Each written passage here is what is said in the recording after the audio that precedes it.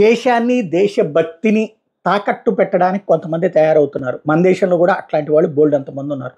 Influencers అంటే సమాజాన్ని ప్రభావితం చేయగలిగినటువంటి మాట్లాడగలిగినటువంటి వాళ్ళకి సంబంధించినటువంటి అంశాన్ని ఇన్ఫ్లుయెన్సర్ అనేటువంటి పేరు వాడుతూ ఉంటారు.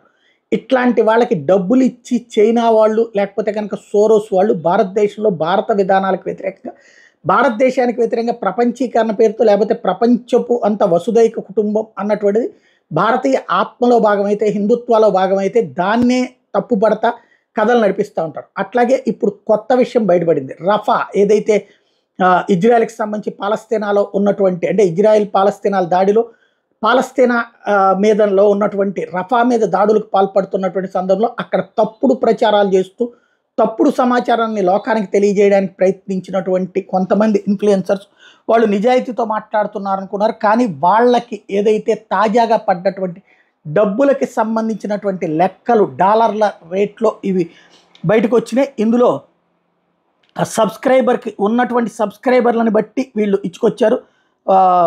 పదివేల మంది అని ఇదే లక్ష మంది ఉంటే పది డాలర్లు.